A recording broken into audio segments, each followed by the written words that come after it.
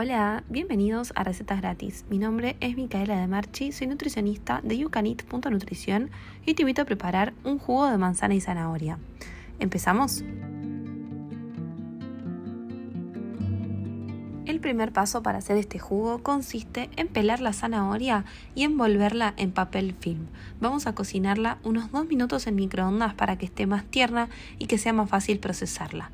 La cocción en microondas mantiene todos los nutrientes de la comida al contrario de métodos como el hervido, donde perdemos algunas vitaminas hidrosolubles, es decir, que se disuelven en agua, en el líquido. Y salvo que la usemos para el jugo, los terminamos perdiendo.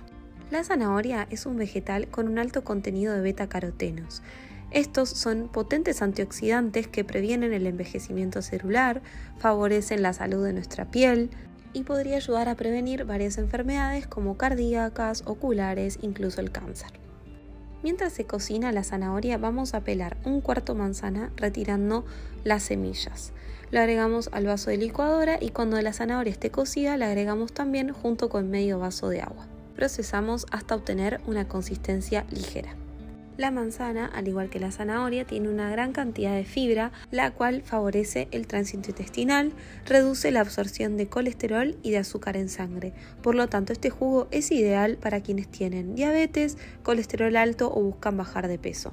Como también lo es incorporar estas frutas y verduras de forma fresca en ensaladas, en gajos, aprovechando todavía mejor la fibra disponible. ¿Qué te pareció este jugo? Hasta la próxima.